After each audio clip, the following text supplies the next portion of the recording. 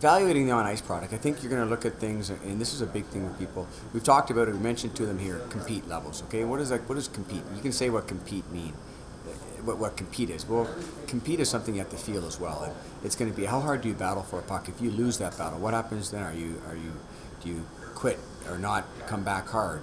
Do you want to be first to a puck? Or are you going to slow up and, and not get there? Even when you have the puck, are you willing to, to still be aggressive with it in that type of nature? So competition is one big um, element, especially when you're faced against any type of adversity. So I'm 5'8", going up against a six foot two player. Am I going to back out of it, or am I still going to whack a stick and use what tools that I have to be able to battle for a puck? Um, second part is play away from the, the puck and watching what a player does away. So when they, they jump on the ice for the first shift, are they just sort of lollygagging? Are they boom right there? Is it hard right to the end of the bench? Do they stay active away from the puck, um, or are they do they put themselves in a position to be involved with the play? Those type of things, and then you're going to be looking at what the decisions that they make with the puck. Are they making good decisions in certain areas of the ice?